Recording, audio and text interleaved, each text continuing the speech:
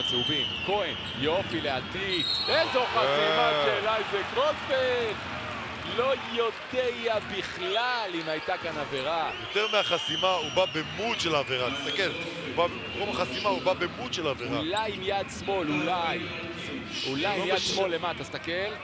תעשה פייק אבל, בן, תעשה פייק, תן לו להיות למעלה באוויר.